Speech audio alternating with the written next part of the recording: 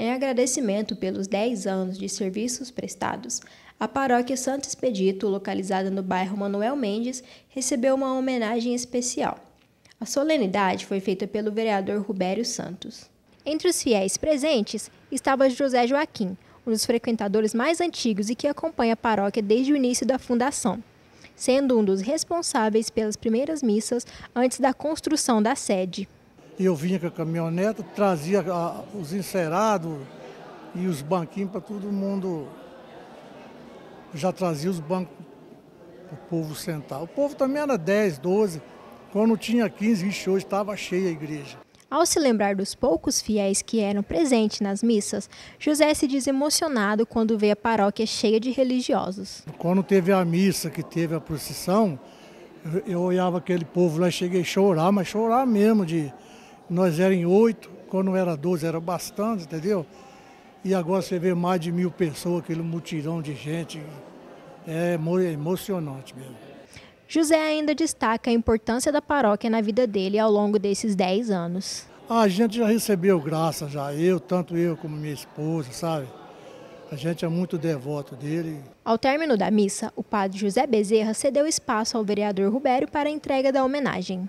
A partir do momento que a gente homenageia, a gente está reconhecendo eh, esse trabalho missionário que é feito eh, por essa comunidade católica de levar a palavra de Deus ao irmão, de mostrar é, a importância da pessoa ter uma fé, da pessoa é, amar ao próximo. E quem caminha com esses dons, com essas é, virtudes, só pode caminhar na retidão e um dia alcançar a salvação. A motivação de homenagear é nesse sentido. Receber essa homenagem é, desses 10 anos de evangelização e missão é uma alegria muito grande para nós, principalmente para o povo porque ao escutar, né, muitos faz uma memória, uma história na cabeça deles, na consciência deles do começo.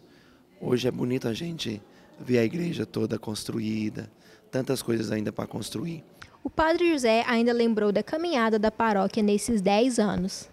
Como toda comunidade tem, é aquela questão muito financeira que às vezes acarreta mais as comunidades, porém com o esforço do povo de Deus, os leigos e leigas participando, colaborando, fazendo jantares, dançantes, promoções, fez com que essa comunidade nesses 10 anos estivesse desta forma.